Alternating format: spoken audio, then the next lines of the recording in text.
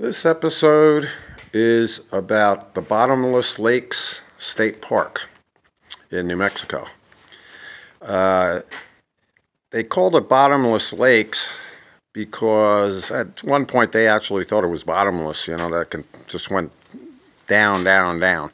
But um, they have determined it uh, goes down 90 feet. So um, it's real popular destination point for scuba divers, and, and obviously it's all set up for uh, swimming uh, activities.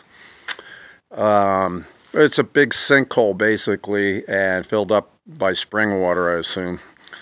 And um, they really did a beautiful job of uh, this, like an amphitheater, uh, where people can picnic here, and um, all the way around you see all the uh, picnic tables. Way in the back, uh, they have them along the lake too, out in the sun. Uh, and I'll scroll around this way. You can see they have a concession stand over there that would have been open in the summer. Okay, it's uh, November 28th. So that's all closed now. Um, but they would sell food and drinks and all that kind of stuff. And then going around this way, the same thing. You have protected uh, picnic areas, and um, anyway, this is uh, about 15 minutes east of Roswell, New Mexico. If you take Route 380 in Roswell and you head out, um, you'll see Bottomless Lakes uh, Road and the state park signs. Uh, in Roswell, everyone knows probably that uh, all the locals believe, or a lot of them, uh, that a UFO crashed in 1947 out in the desert north of Roswell, and a rancher picked up a lot of debris and uh, it wasn't uh, the military weren't looking for any crashed um, airplanes or anything. There was no search going on. And finally two or three days went by and and the rancher started showing some of the debris he was finding. And then the the military got uh, notified and, and got involved in the search and then they cordoned off the area and told everyone to shut up and all that kind of stuff.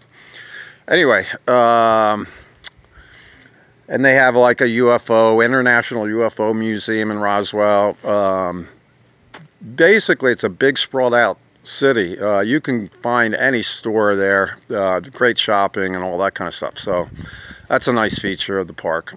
It's close to uh, shopping you know, Walmart, Supercenter, the whole nine yards. You can find it there. Harbor Freight Tools is there and um, all that kind of stuff.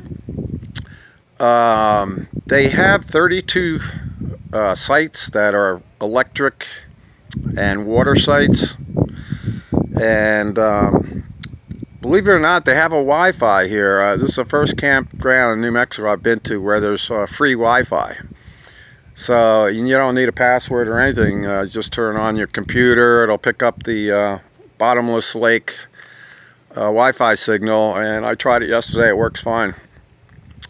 Um, but I do get 4G service, two or three bars also with Verizon out here.